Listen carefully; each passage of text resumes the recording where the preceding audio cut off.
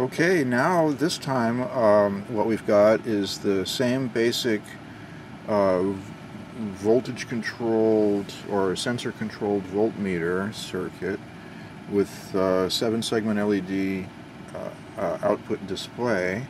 And I'm using the output also to drive the 2N3055 bipolar transistor and with and using the same uh, 12 volt light bulb as the load there.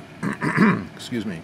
So I've assigned the uh, MOS pin from the MOSFET sketch over to one of the PWM outputs, which is in this case pin 10, and then that drives the base of the 2N3055 through a uh, through a little resistor. I think that's a 470 ohm resistor there, and then the emitter is connected to the negative side of the load powering battery and also to the ground of the Arduino.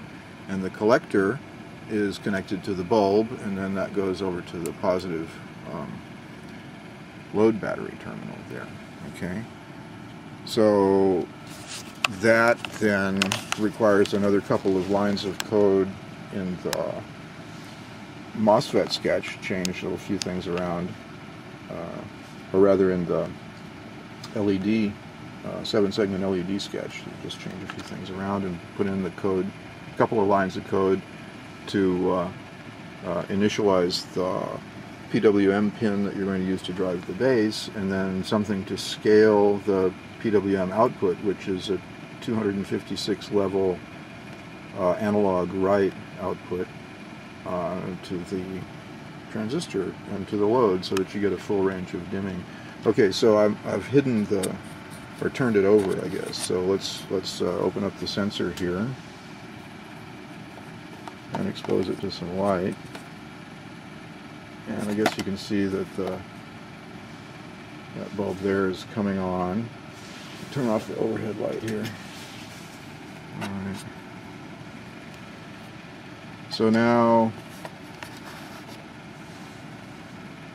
using my desk lamp and my hand, I think you can see that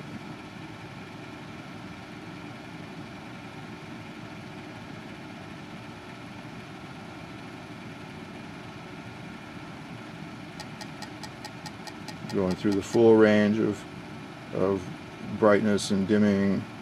We're dimming that bulb with full control using the voltage input from an external sensor, in this case a photovoltaic.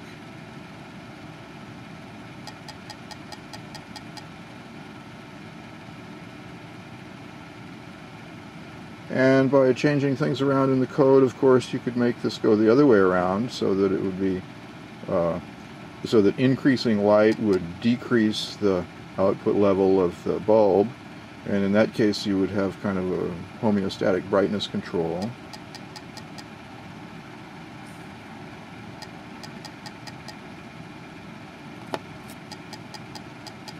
Dim it right down by cutting the light off to zero. Gradually bring it back. And of course, uh, you could use any of the sensors that I've used before, the, the potentiometer or the uh, thermistor or a photoresistor or in this case the photocell uh, to control the output and you got a nice little digital readout of what your output is. Right. So hit it with the green laser, send it over the edge.